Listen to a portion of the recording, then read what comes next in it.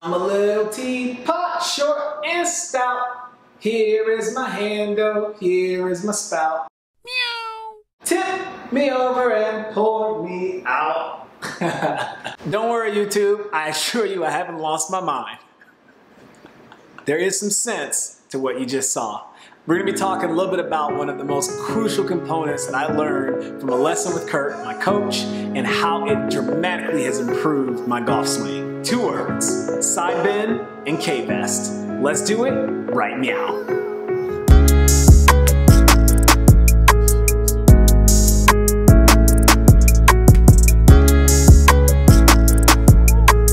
Thank you for checking out my video today. My name is Kennie. Some of you may know me as Kennie Kat. I am an amateur golfer, and this channel is dedicated to showing my journey on becoming a better competitive golfer. If you haven't yet subscribed to the channel, please do. I upload content every single week. If you are a returning subscriber to the channel, thank you very much for your support. I greatly appreciate it, and welcome back.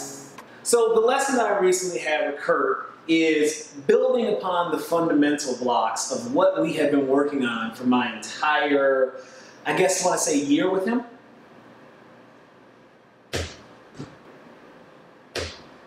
So what I've been working on with Kurt in this lesson is the K-Vest. Now, for those of you who don't have K-Vest or have never used K-Vest, it's basically 3D motion sensor captures. It's got a sensor that goes on your pelvis, a sensor that goes on your wrist, and a sensor that goes on your chest to basically give a three-dimensional image of what's happening as you are rotating throughout the swing. The good thing about K-Vest, which you'll see in the video, is it gives audible feedback uh, for when you're in a good position. So you'll see in the video, as I go into certain takeaways or certain, you know, back turn positions, there'll be a little buzz. That's one of the things I really like about the K-Vest. It gives you an audible feedback for when you're getting into a really good position. And if you haven't used 3D Motion or K-Vest or any type of thing like that, if you have the ability to do so, I would strongly recommend that you seek out a coach or an instructor that has it. It's a super informative process that can really help you understand what's going on with your body during the swing. Let's take a look at that video right now. Like my new little gimbal? Dude, that thing's so sick. My roommate's got one. Yeah. Uh, we're gonna get some good stuff going. All right, let's get through these here. So now we're going to This is top. everybody at top. So it's telling me what this is recommending is that Now the now first is this tee, where I the be for original full shot? crew, the marquee pairing of the day, Himes, Miller Time, and Mr. Thomas Angel. So yeah, you'll see in this video that this, this will dissect your shoulder. Okay. I'd like to see the side. See, even more so than the second one. That's it. So now we're going back to the test. This is just your posture and the rest of it. Just- You do have a tendency to get a little bit slumped over, so yourself kind of extend your body. It was two degrees off. Gotcha. It's not a huge deal. I know it. I can't see the ball from here. Yeah, because your glasses. Yeah, and that's why I get a little something. That's okay, and I don't mind a little softness in the upper back. I'd rather see softness in the upper back where you curve a little bit Yeah. than a big droop in the lower back. So when you get the kick, pelvis to kick forward, so let your belly go to the wall a little bit. So let your belly, let your lower body, let your back extend. Right? So yeah, so like I don't want to see that. Yeah, yeah, no, I don't. That's so we want to make sure that stays. looks clean on me, yeah. Exactly. I don't- want I don't to like that. We want to keep that nice and flat. I like it. I can I can be a little more upright. I do I do mess around with that a little bit. When I'm when I'm when I'm I need to play play more in practice more context. Just balls right out my literal my Yeah. Like it's right out my glasses. My buddy Alex, he talks about getting the jerk, but that's fine too. Like it all works. Yeah. I, I, I, I, I see what you're saying. Like I like just a little bit. Like okay. That So, makes sense. I mean, Okay. George, George teaches everybody to have more, more curvature in their upper back. It feels it feels comfortable to me. Yeah. I just can't see the Yeah, That's like, okay. like, like I said, I'm just trying to let, I'm just trying to make it aware, like it's okay to do these things. You can get away with some of this stuff still. All Like, right. This isn't, this isn't, Pelvis this isn't complete God. So this is coming here. It's right. There you go. There you go. So now this stays more underneath you, to where This the core like I'm turning engaged, anyway. right? More here though, It doesn't feel like I'm turning. Right? But if you in motion, you're gonna be here. Ah, okay. So it's giving. Okay, that makes sense. This is just trying to get you to less, less rotation, because you over rotate like crazy. Gotcha. So now we're going back to impact. Good, a little less rotation with the hips. Good. Now this is gonna go pelvis move to the top again. So this is kind of where that pelvis sits more underneath you. So you might feel like you're more tucked with your pelvis here than you I can. to. I know what it's trying to get me to do. I can. I can get to this position. but In my mind, this doesn't feel like a golf shot. This feels No. like I'm gonna hit a. Yeah, that's fine. You should probably should have hit more punches to get the legs more involved. That is 100 percent true. I saw your video. I saw your video. All right, what are we doing? That was to the top. Yep. No, this is impact. This is where your butt slides underneath. Yep. Right. Me get that position. No, this is a posture. So again, this is a little taller. To the top. Good. There you go. A little bit more rotation, a little bit more from the upper back side here. There you go. Good. Side. Oh, that's right. I gotta get that feeling in there. Okay. So it's a big crunch from this Wait, side. can we go back to that one? Yeah. Can we just redo that one again from wherever we were? Because I lost that feeling as I did it. Okay. So again, we're just going up here, and what I look for in a 2D sense is this curve Yep. that happens in your spine right here. There you go. So over there, boom. Now the club is more pointed at our target line. So again, now you're literally you're going to see this in your video. Your shoulders and your golf club kind of intersect with each other like a T. Okay. This is where you normally get it. So you get the club too straight, Okay. right? So this is pointed directly and kind of over the or at the target, right? So this is pointed at the target here. Uh-huh. I want you to point this at the target line. Oh, I'm trying to point this at the fucking target. Yeah. I'm literally trying to come perfectly up to come this direction. Yeah, I can so- come a little bit more this way. Yeah, you want to point this at the target line. Okay, that's good. That stays parallel to the target. Yep, that's okay. This is why we talk. This is why we communicate. This is Yeah, I'm trying to get it. Why is your club so pointed at targets? I'm trying to get it I'm pointed trying at to, targets. trying to do that. That's what you told me to do, right? Uh, I heard that. It probably is what I told you to do. All right. This is the pelvis at the top here, so no, a little less, right there. Good. And this is more so so your pelvis gets into a really nice position here Okay. because you'll have a tendency to get this too high, right? And then Yeah. that body starts to tilt Tilt, forward, yeah, right. and that's where that's where things get a little high on you. So this is going back to impact. Good. I felt it right there. Now you're going back to the top of the bottom of the pelvis. So this is where the pelvis stays more underneath you. Back to the top. Yep. There you go. Now you should feel more with your legs. I'm getting the club back. Yeah, Yeah, that's see, good. I'm not trying to get it over there. Okay, more higher. Gotcha. It's hard to You're good. It's hard to do pelvis it. impact. Yep. But underneath it. So that feels natural too, okay? Because the, the, the, this is literally like we did the same the, the, the, the twister applied metrically. I'm so used to doing it. I did Yeah. track. Yeah, I know that. That's like Yeah.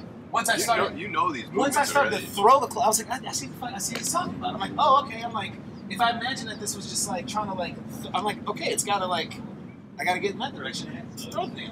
Yeah. I'm like, so I'm so damn like, yeah, I see it now. All right, address. Love. All right, upper body. There you go. That side body. Get that point forward. So this feels more relaxed. Is this okay? So it relax a little. So it's It it- feels it- it feels more I- relaxed than it does upright. So again, if you go into your setup position,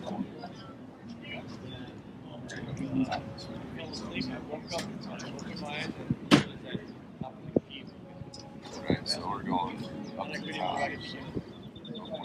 Just gotta put No, I'm just. I'm just like that. Okay. So go up to the top for me.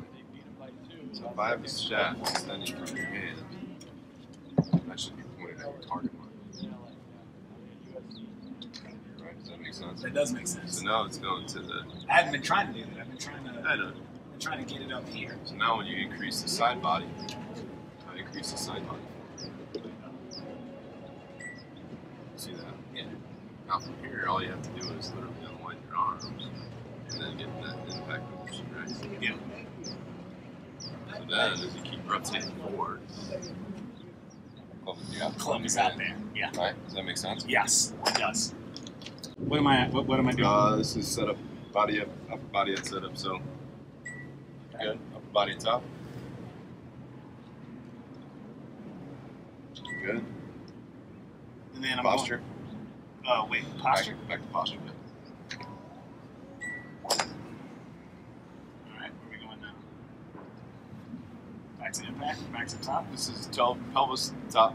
So pelvis move at the top pelvis position. Less. Good. A little bit more rotation with the upper body. Keep the pelvis there. Good. starting to feel some separation in your body here. Mm-hmm. I'm Good. getting very tight in my, my uh, abs and obliques. Love it, love it. Okay. Body turning into impact form. A little less. Much less. There you go. Good. Now it's going to go back to pelvis move to the top. This is again trying to keep your pelvis underneath you. Good. Pelvis moving impact. This is getting your pelvis underneath you again, butt cheeks. Good. Now we're going to go upper body move at address. Good. Right there. Beautiful. Upper body at the top. Good. More side body. Just a touch. There you go. Now we're going to go posture again. Pelvis at the top.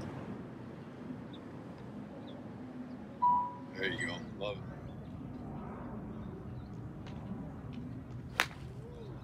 It's alright. It's alright.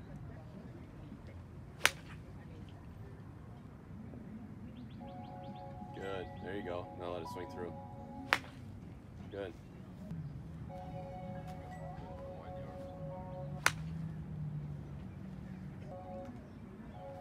There you go, a little bit. There you go. Good.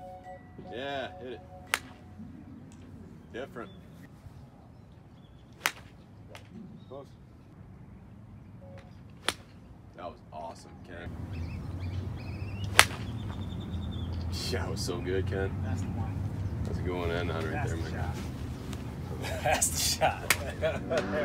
So Nick Clearwater, who's the VP of training for GolfTec, is talking on the Golf Science podcast about this Swing Tru study, and I'll put a link in the description below. Which basically, after measuring, I think it's like a hundred thousand different golfer swings, um, including professionals and amateurs, they found five or six basic key points that correlate to good ball striking or being a better golfer. And the follow-through position that he's talking about, although his opinion is that it should be the first place where struggling golfers start, it just so coincidentally happens to be one of the last missing components from me best understanding how to move my body efficiently through the swing.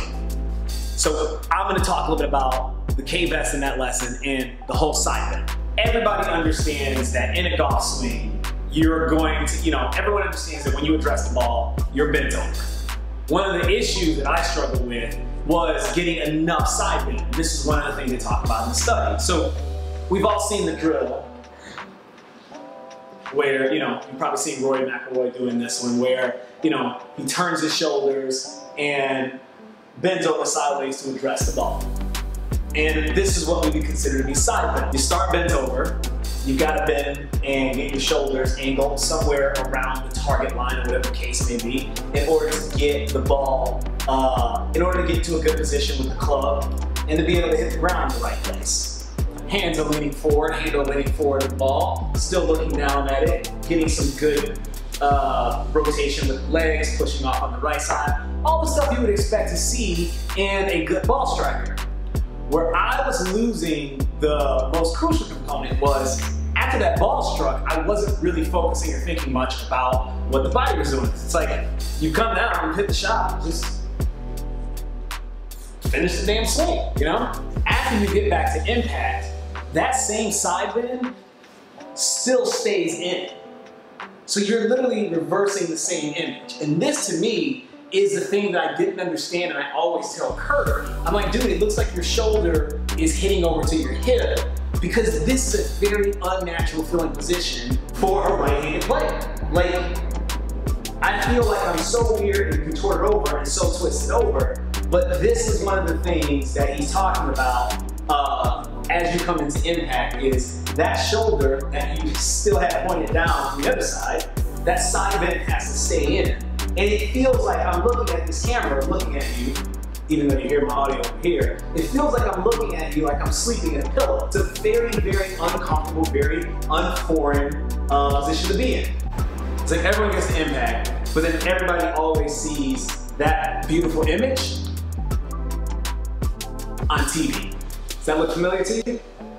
And it's literally no different than the silly teapot tip me over and pour me out to the side. Congratulations. You take that teapot and pour them over to the side. Congratulations. You are now in post-impact for a golf shot. Post-impact, most golfers don't understand they need to be side bent in order to achieve the intended result. It makes no sense. It's not intuitive. If I were to give somebody a club, I wouldn't say, hey, turn over sideways like you're about to take a nap on an imaginary pillow and extend your arms, and that's how you get into a good post impact. And even as I'm doing this, I'm starting to sweat because, like, I'm a pretty flexible person, you know? I can get pretty flexible, but it's a lot of work and it's a lot of stress on the obliques and the abdominals to get that much right side bend. But that's apparently what all great golfers do. Like Tommy Fleetwood does, he just he did, they just stay inside bend. Some players just stay here. It's just like, why not? Hit a little punch shot, and like you get more comfortable staying in the bend.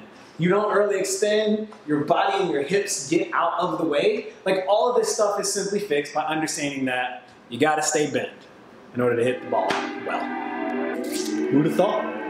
Thank you very much for taking time out of the day to watch my video. I really appreciate it. Make sure you check me out next week. Deuces, people. Let's keep it moving.